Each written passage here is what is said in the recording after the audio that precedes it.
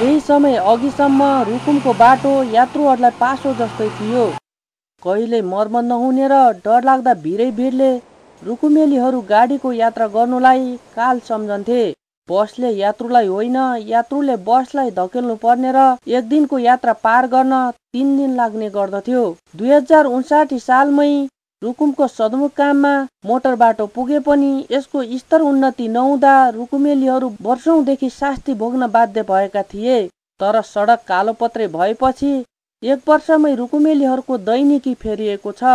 हुन त यो सडक पूर्ण रूपमा कालोपत्रे भने भएको होइन।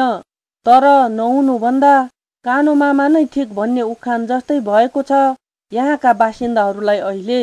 बर्खाको मौसममा यहाँदेखि दाङसम्मकै यात्रा अलिक जटिल थियो दिन करिब तिन दिनसम्म लागेको छ गत वर्षै तिन दिनसम्म लागेको थियो र अहिले दाङको यात्रा छ घन्टामा केन्द्र हुन पुगेको छ भनेपछि काठमाडौँ हाम्रो मान्छेहरू काठमाडौँ सबै पुग्छन् पुग्छन् र यात्रा त्यति जोखिमपूर्ण छैन मान्छे बाटोमा अलपत्र पर्नु पर्दैन र समयमा आफ्नो ठाउँमा पुग्न सक्छन् दस वर्षको द्वन्द्वले आक्रान्त जनतामा यो सडकले केही हदसम्म भए पनि विकासको अनुभूति दिएको छ।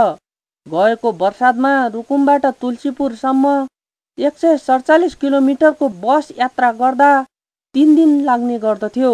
यो वर्ष भने नियमित गाडीहरू सञ्चालन भइरहँदा यात्रुहरूलाई ओहोरदोहोर गर्न सजिलो भएको छ। गाह्रो भएको थियो। अति बेला पानी पर्दाखेरि सडक पुरै हिलो हिलो हुन्थ्यो। पुरै हिलो हिलो भएर एकदमै गाह्रो अवस्थामा हामी हुन्थ्यौँ भने अहिले चाहिँ अब त्यस्तो छैन। अहिले एकदमै बाटो राम्रो छ। पानी पर्दा पनि हामी सरासर जान सक्छौँ। तर माथिबाट पहिरो झर्ने समस्या भने जस्ताको तस्तै छ। कल्याणको श्रीनगरदेखि रुकुमको सल्ले विमानस्थलसम्मको करिब तिरासी किलोमिटर सडकमा कालोपत्रे गर्ने काम सकिएको छ। वर्षातमा लामो समयसम्म अवरुद्ध हुने यातायात सेवा यो वर्ष वर्षामै निर्वाध रूपमा चलिरहेको छ। रुकुमको यात्रा सहज मात्र भएको छैन। दैनिक उपभोग्य वस्तुको आपूर्ति पनि सहज भइरहेको छ। यसले यो वर्ष वर्षातमा हुने खाद्यान्न अभाव टारे पनि सम्बन्धित निकायले दिगो र भरपर्दो सडक व्यवस्थापन गर्न जरुरी देखिन्छ। इमेज समाचारको लागि रुद्रगोपाल डाँगी रुकुम।